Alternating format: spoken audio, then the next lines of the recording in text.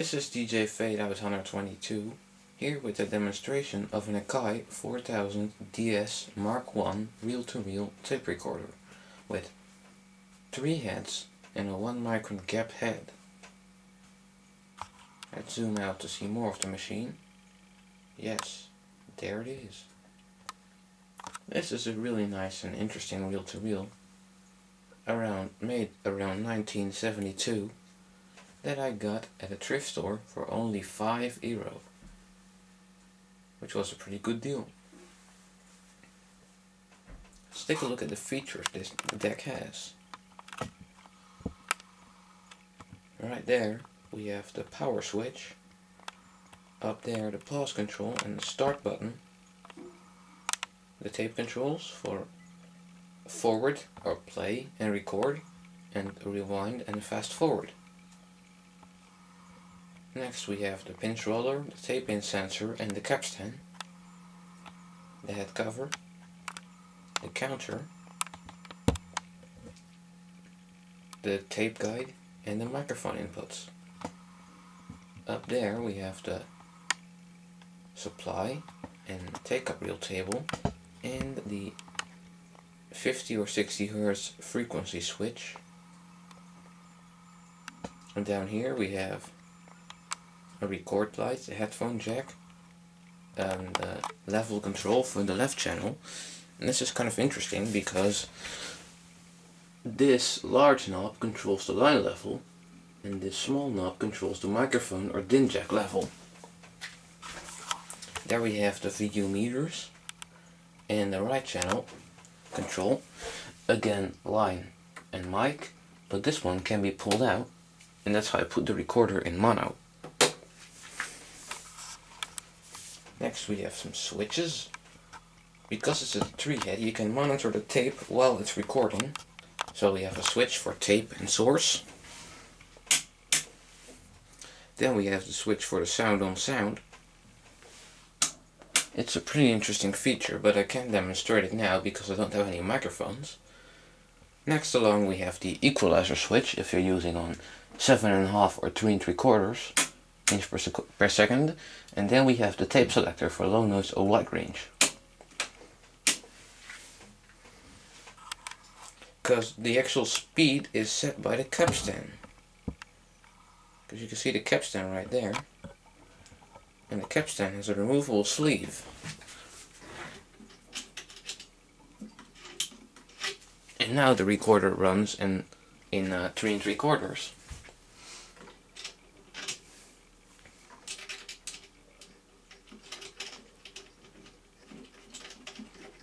And now back in 7.5 inches per second.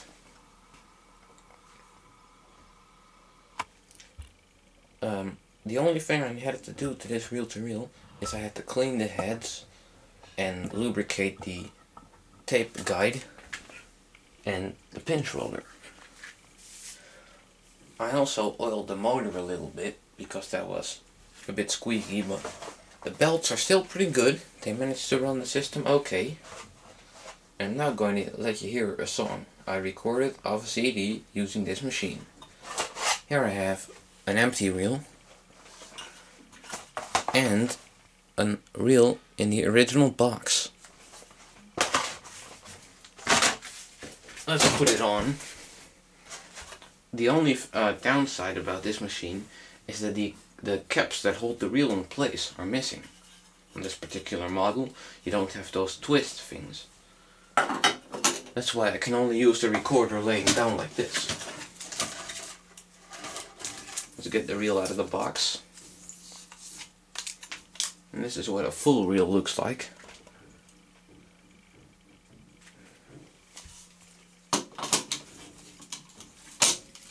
Now I'll thread the tape.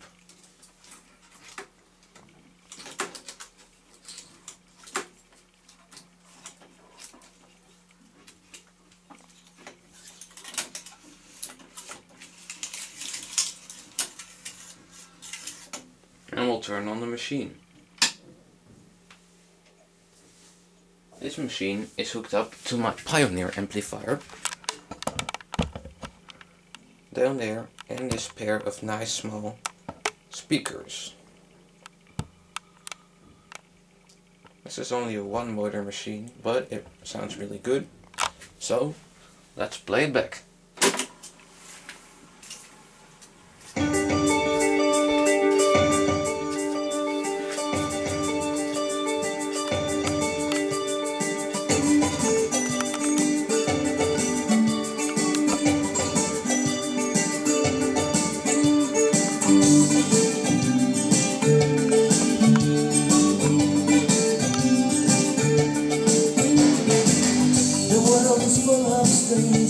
Every man has to be his own savior. I know I can make it on my own if I try. But I'm searching for a great heart to stand by underneath the African sky. A great heart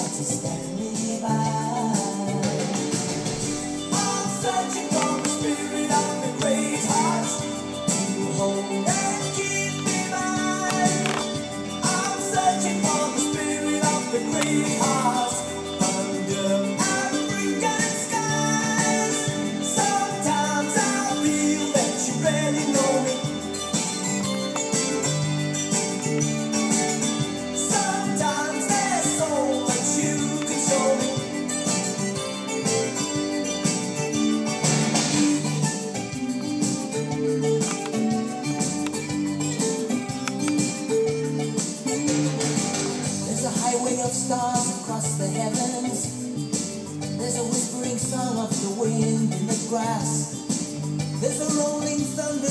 across the savannah. A hope and a dream at the edge of the sky.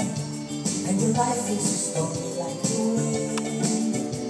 Your life is a story like the wind.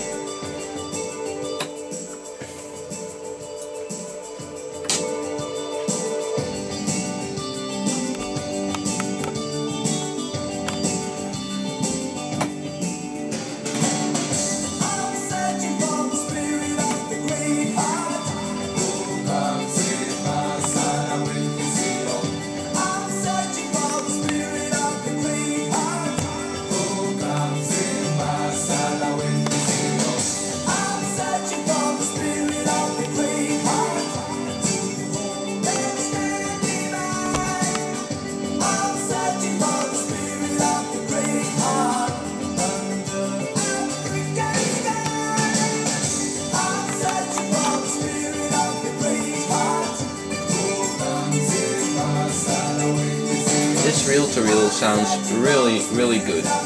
Also, this tape is in very good condition.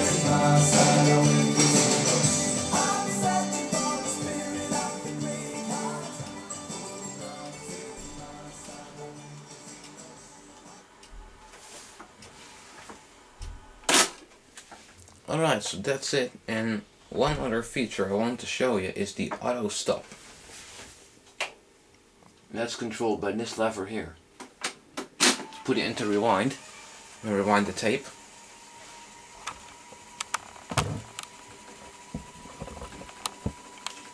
And watch this when it reaches the end.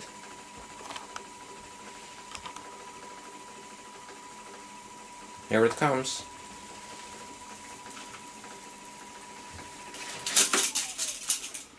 And that just shuts off the machine. As you can see. So that's it. We're all we're almost up to the 11 minute limit. So I hope you enjoyed this video of this very nice reel to reel.